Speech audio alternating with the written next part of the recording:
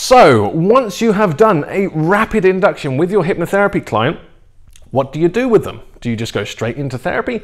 Probably not, because with rapid inductions, you tend to need to deepen that state of hypnosis before you move on so that they are at an appropriate level for you to do some work with them. Um, we just filmed another video on the eight word hand drop induction. So Kate is kind of half in and half out of hypnosis already. So sleep, you can relax even deeper now. That's right. So a really good way of deepening the state of hypnosis is something known as rocking. So rocking involves literally rocking the person from side to side. So what you do is you take your hand and you place it on their shoulder. That's the shoulder.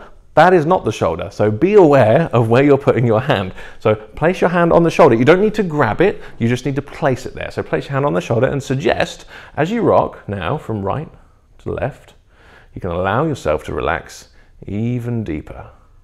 That's right. Remaining comfortable and balanced. As you rock from right to left, going even deeper into hypnosis. With every rock, allowing you to breathe, allowing you to focus on the sound of my voice. Feeling so comfortably relaxed now rocking. And you can go on now, drifting deeper into that wonderful state of hypnotic relaxation. So, one, two, three, open your eyes. Sorry to, to, to, break you out of that so quickly. How did that feel? That was great. It's nice, isn't it? And in comparison to a verbal deepener, physical deepeners like rocking can feel very different for people because most hypnotherapists will talk somebody down into hypnosis. So, you know, relax all of your muscles, or imagine walking through a forest and every step takes you deeper, or I'm going to count down from 10 to 1 and each, you know, each number will take you deeper, that kind of thing. Whereas rocking and other physical deepeners they feel so different because you're not used to being manipulated and moved by another person in that kind of way. How often does someone walk up to you and go, hello, I'm just going to rock you from side. it's kind of weird. However, it's like they're kind of taking control of the situation, and when you kind of go with it, it does feel very nice. I mean, you can sit here watching this now. I mean, sit up wherever you are and close your eyes and just gently rock yourself from side to side. And notice how relaxing it feels as you rock from right to left and left to right.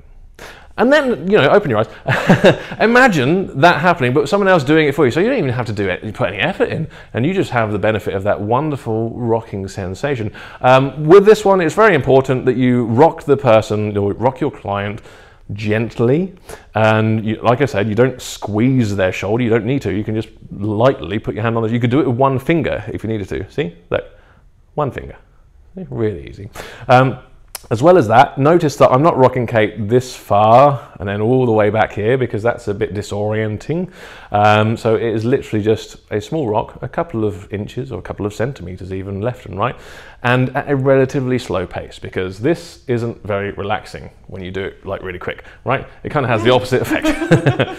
so um, with any kind of physical inductions, it can be worth getting consent to touch beforehand. You might say, during this hypnotherapy session, I'm going to touch you on your shoulder. Are you happy for that? That's fine. If they say no, then don't do the rocking deepener. Hey, or you could do it and you could say, okay, now I'd like you to rock yourself from side to side. And as you do, you go even deeper. It's not quite as effective, in my opinion, um, but it, it, it, still works. But yeah, generally, people are absolutely fine if you tell them beforehand that you're going to just touch their shoulder. It's part of the process. Then they'll be happy to do that.